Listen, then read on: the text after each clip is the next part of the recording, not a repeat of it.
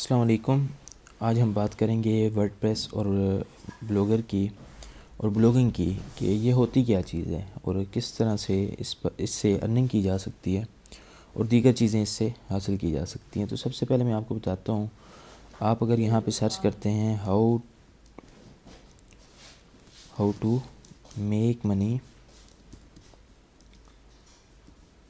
online in Pakistan तो यहाँ पे आप सर्च कर रहे हैं तो ये देखें। यहाँ पे एक वेबसाइट आ चुकी है जो कि ये वाली वेबसाइट है। इसके अलावा नीचे बहुत सारी वेबसाइट्स आ चुकी हैं। तो यहाँ पे क्या हुआ हुआ है और ये इस इस आर्टिकल से, इस पोस्ट से कैसे अर्निंग कर रहे हैं और इनकी ये पोस्ट ये वाली ऊपर क्यों आ रही है और ये वाली नीचे की, क्यों आ रही है। तो ये सारी चीज़ें इंशाल्लाह आज डिस्कस करते हैं।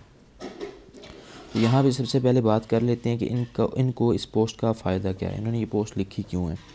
यहाँ पे देखें, अगर हम इसको चेक करते हैं तो ये एड्स बाय गूगल है। यानी गूगल की तरफ़ से एडवर्टाइजमेंट की जा रही है।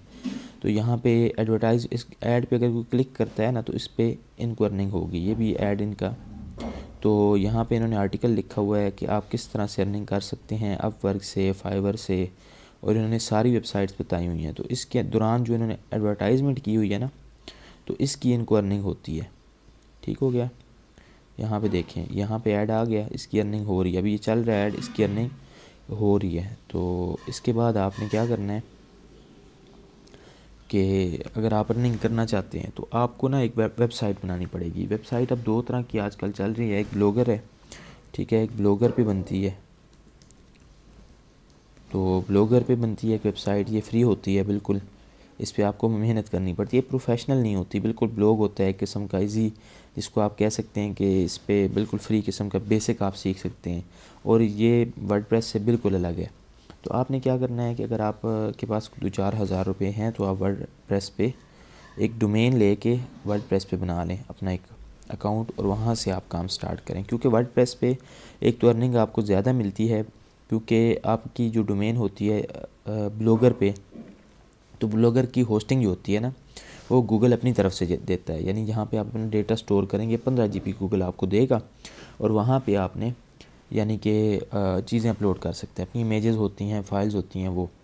तो ये फ्री देगा तो उसके बदले में आपके से चार्जेस लेगा, तब लेगा जब आपकी अर्निंग होगी। तो यहाँ पे वर्ड प्रेस पर ये होता है कि आप अपना डेटा यानी स्टोरेज ख़रीदते हैं और यहाँ से आप फिर अर्निंग कर सकते हैं। और मैं आपको बताता चलूँ कि आप अगर देखना चाहें तो कितना इसका फ़र्क होता है, यानी कि मिसाल के तौर पे अगर ब्लॉगर पे काम करेंगे तो आपको एक हज़ार रुपया मिलेगा तो उसी की भी नस्बत अगर आप वर्ड प्रेस पर काम करेंगे तो आपको वहाँ पे पंद्रह सौ रुपया मिलेगा। मैं इतनी एक एग्जांपल दे रहा हूँ। एक हज़ार व्यू की बात कर रहा हूँ, एक हज़ार व्यू पे। अगर इतना मिल रहा है तो अगर आपकी कंट्री है या कोई भी जिस पे आप काम कर रहे हैं तो इस पर इतना डिफरेंट क्यों होता है? क्योंकि ब्लॉगर पे चार्जेस गूगल लेता है गूगल एडसन जो होता है वो आपके एक तो व्यूज़ कम काउंट करता है उससे और दूसरी चीज़ है वहाँ पे ना स्पैमिंग हो सकती है ब्लॉगर पे। बहुत ज़्यादा आपका गूगल एडसन डिसेबल वहाँ पे हो सकता है, बहुत ज़्यादा चांस होता है, ठीक है? समझिए कि अस्सी परसेंट वहाँ का आपका चांस होता है कि आपका गूगल एडसन डिसेबल हो जाए। और वहाँ पे अस्सी परसेंट भी नहीं फिफ्टी परसेंट आप कह लें, जबकि वर्ड प्रेस पर आपका ये टेन परसेंट या आप समझ लें कि थर्टी परसेंट होता है।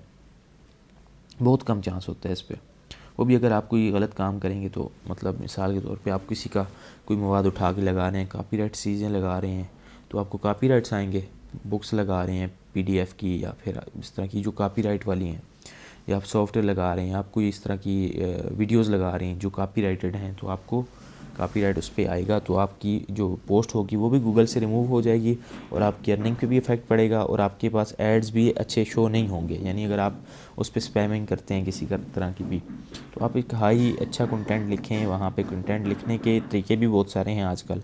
एक तो आप ख़ुद लिखते हैं और एक आपने जो है वो निकालना होता है गूगल के थ्रू भी आर्टिकल यानी कि कॉपी पेस्ट वर्क है सीधा सीधा, और उस पर आपने डेटा डालते जाना है।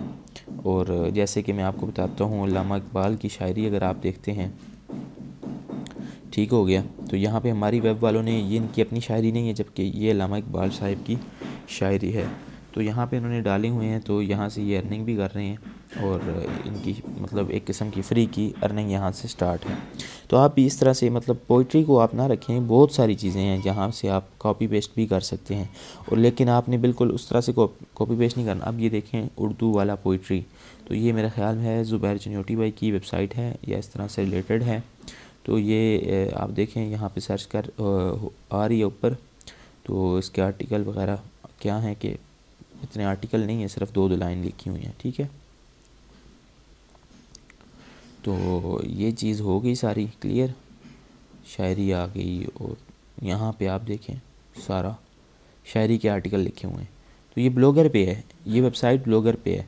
तो ब्लॉगर की वेबसाइट बी रैंक करती है। मज़े की बात यह है कि यहाँ पे आ गई है और हमारी वेब वाली दूसरे नंबर पे आ रही है। पहले नंबर पे सॉरी तो ये दूसरे नंबर पे आ रही है, उर्दू वाला पोइट्री डॉट कॉम यहाँ देखें गज़लें वगैरह सारी, लमक की और इस तरह से। वर्ड का ये है कि यहाँ पर कस्टमाइजेशन बड़े मज़े की हुई हुई है, देखें। ये एक सेक्शन बने हुए हैं यहाँ, जबकि यहाँ पे सिर्फ़ पोस्ट लगी है, ऊपर नीचे सब कंटेंट डला हुआ है या एड्स वगैरह हैं। तो इस तरह से आपने इसमें मतलब वर्क कर सकते हैं आप, अच्छी खासी यहाँ से। जैसे ये एड्स लगे हुए हैं तो यहाँ से अर्निंग भी हो सकती है। ये इनके मुसनफ़िन है, मैं कौन सा इनका रिव्यू दे रहा हूँ।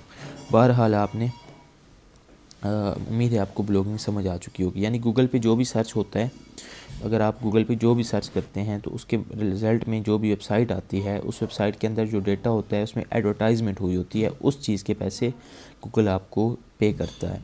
ठीक हो गया? तो ये इजी आप समझ लें कि एक इसकी डेफिनेशन है, तारीफ़ है कि आप ब्लॉगिंग किसे कहते हैं। ब्लॉगिंग यानी कि जो गूगल पे सर्च होता है, उसके रिज़ल्ट में जो आता है ठीक है, उस पर जो कंटेंट डला होता है, उसको ब्लॉगिंग कहते हैं, उसमें जो एडवर्टाइजमेंट हुई होती है, उसकी वो हमें अर्निंग मिलती है।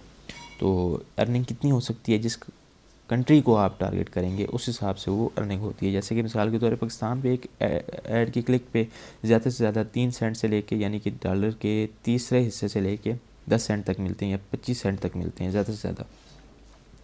जबकि आप इसी को अगर बाहर की कंट्री को टारगेट करेंगे तो आपको और ज़्यादा देगा। तो यहाँ पे देखें, ये लोग कोर्स कोर्स सेल भी कर रहे हैं। तो ये बाई करने की ज़रूरत नहीं है। आजकल ये भी होंगे भी ओल्ड। तो इस तरह से आपने ब्लॉगिंग स्टार्ट करनी है। अगर आप ब्लॉगिंग स्टार्ट करना चाहते हैं तो ये एक अच्छा करियर है। लेकिन आपको इसके लिए मुस्तकिल मिजाजी की ज़रूरत है। हमेशा याद रखें, जब तक आप मुस्तकिल मिजाजी नहीं रखेंगे, आपको कम अज़ कम एक साल देना पड़ेगा, कम अज़ कम। मैं आपको ये बता रहा हूँ, अगर आप इसको पार्ट टाइम लेके चलते हैं, आपको एक साल देना पड़ेगा, आपको मेहनत करनी पड़ेगी। ये नहीं है, एक चीज़ पे आपने, आप आप अपना मकसद ये रखें कि हमने रोज़ एक ना एक चीज़ नहीं सीखनी है, तब जाके आपको, क्योंकि इसमें इतने टॉपिक्स हैं, इतने टॉपिक्स हैं, यानी कि इसमें इतनी चीज़ें सीखने की हैं जो आपको नहीं आएँगी तो आप किसी से सीखेंगे फिर आप यूट्यूब पे सर्च करेंगे, आप सबसे मेन चीज़ है आप रिसर्चर बन जाएँ। जब आप रिसर्चर बन जाएँगे ना तो आपके सारे मामला हल हो जाएँगे। यानी आपको कोई चीज़ भी ज़रूरत पड़ेगी, आप गूगल से फ़ौर उसको निकाल सकेंगे। और आपको, आपकी परेशानी जो भी ब्लॉगिंग में आएगी, यूट्यूब पे आएगी या आप किसी भी प्लेटफॉर्म पे आप अर्निंग कर रहे हैं, वहाँ पे आपको कोई भी मसला आएगा तो आप वहाँ से गूगल से निकाल सकते हैं। कम अज़ कम आपको इतना यानी सर्च करना आना चाहिए। तो उम्मीद है कि आप ब्लॉगिंग के मतलब समझ चुके होंगे और मज़ीद बातें भी जो मैंने की हैं, आपकी समझ में आ चुकी होंगी। इन फिर मज़ीद हम ब्लॉगर को वर्ड प्रेस को लेके चलेंगे। तब तक के लिए अल्लाह हाफ़ अपना ख्याल रखें और दुआओं में याद रखें।